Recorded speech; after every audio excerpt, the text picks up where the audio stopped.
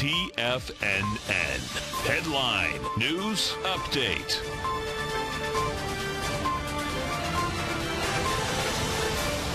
Welcome, folks. Tommy O'Brien coming to you live from TFNN headquarters in Clearwater, Florida, 2 p.m. Eastern Time, two hours until that closing bell. Let's check in on the markets as we have the Fed decision coming as we speak.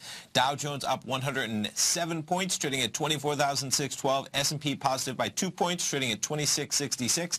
And NASDAQ positive by 18 points, trading at 6880. Let's jump over to the Nadex platform, check in on some of the futures markets.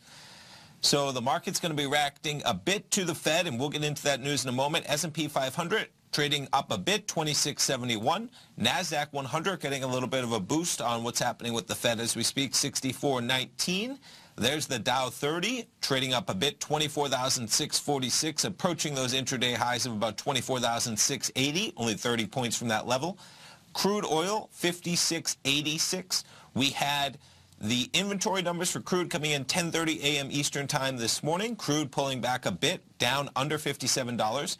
Gold getting a boost on the Fed decision as we speak in Euro as well. Euro boosting a bit, getting a little bit of a dollar pullback. So let's jump back here and see if we can get what's happening in the world. So let's go. Top live, here we are.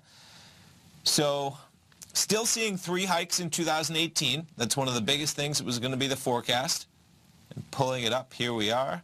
Fed raises rates by quarter point, so that's what we expected, and the Fed is still seeing three rate hikes in 2018. So that's going to be the headline news for what's coming out. And of course, what can definitely move these markets is 2.30 Eastern Time, a half hour from right now. Janet Yellen press conference talking about what will happen probably in the coming year, and we'll see where that sends the market.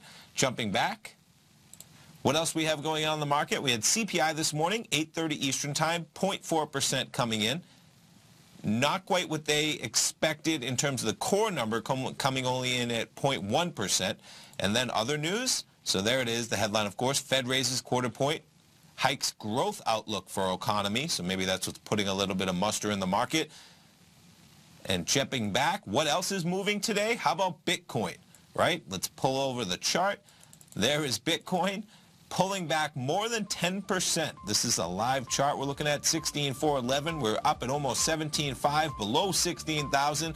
Cboe futures had to get halted for one of those trading curbs, down more than 10%, rebounding a bit now.